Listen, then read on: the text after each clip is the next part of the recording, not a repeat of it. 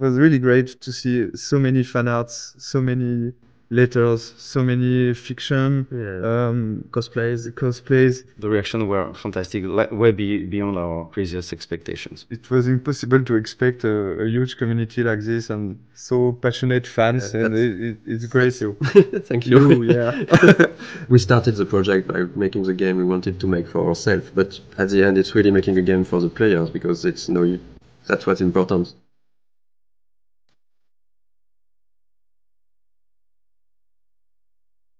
Uh, so welcome to the dev commentary of Life is Strange. We're really happy to, to be there and talk about the game.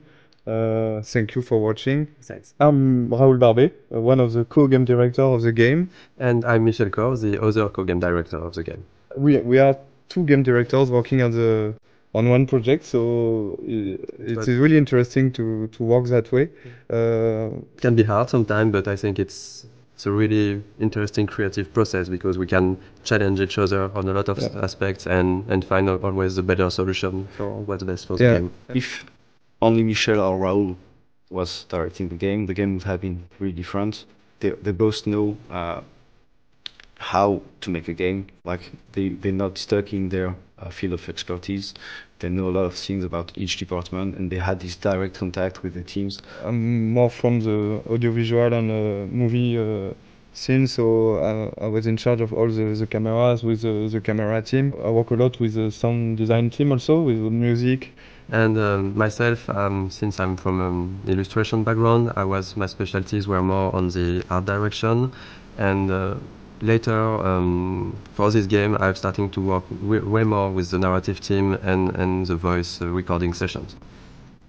it was it was cool because they had uh, they had a similar vision uh, for the game, so we didn't have a yes from one and a no from the other. Actually, Michel and Raoul are in the game when you think about it, because so there are two game directors. So we have a contraction, which which is Michel. But uh, there's, if you put it the other way around, it's Raoul and Michel, so it's Rachel. I'm pretty sure they did on purpose. The idea behind the game was to, because we have both of us worked on Remember Me, and uh, there was some sequences in this game called uh, Memory Remixes, and uh, one of the founders, uh, Hervé Bonin, uh, uh, asked this small core team to, to, to think about a game with this kind of mechanism. Very quickly came uh, the episodic adventure game because we wanted really to, to do something like that. There is really a lot of good ways to new ways to interactive ways to tell stories. On an episodic format, you have to make a lot of choice uh, for episode one because you won't be able to change after. Uh, a lot of assets have to be there in episode one. So the menu is one of uh, those assets. It was interesting because there was a lot of variations. We, we did a lot of tries of what we wanted to show in this menu. Uh, the idea is, was really to basically show the most important locations of the game.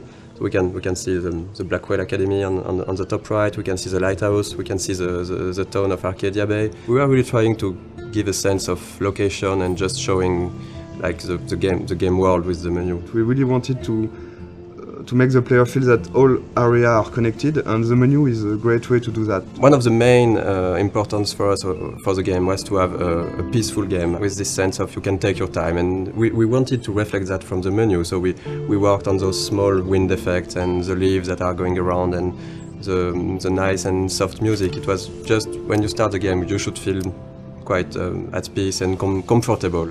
And, and even uh, when, when the menu evolves in each episode, there is sm- some small details that are changing. Like in, in for the menu for episode four, you have the, the, the beach whaled.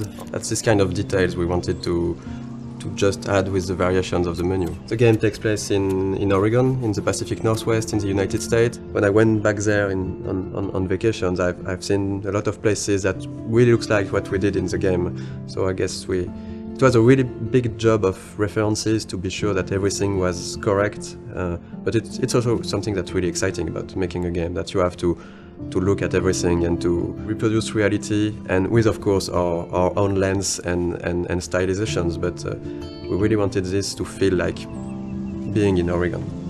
Sometimes people ask us if we choose to have a game in the United States for marketing, for selling the game.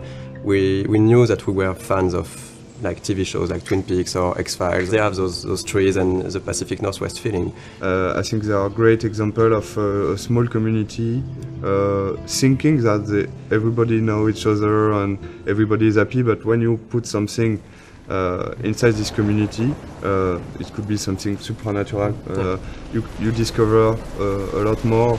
And it's really a way to, to shift things around and to bring chaos and interesting variations on the on the characters. And at the, in the end, Life is Strange is really a, a, a game and a story about the characters, about their lives.